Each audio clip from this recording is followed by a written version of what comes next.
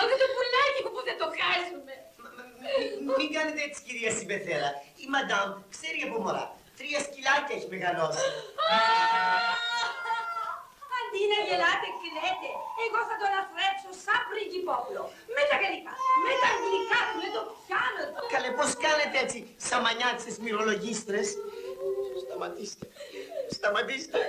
Και θα με πιάσει και εμένα. Δεν τα κρατάνε έτσι τα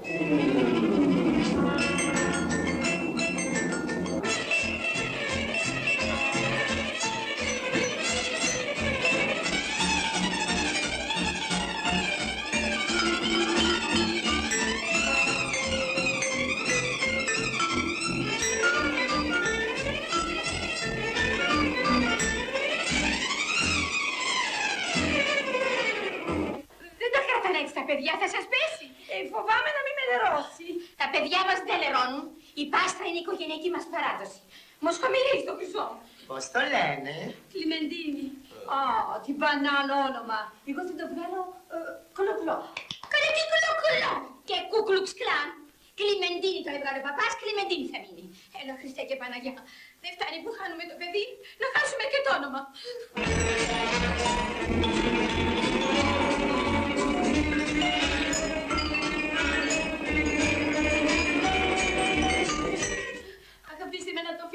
Τελευταία φορά.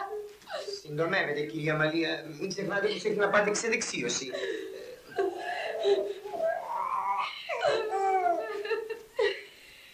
Κλιμεντίνη μου!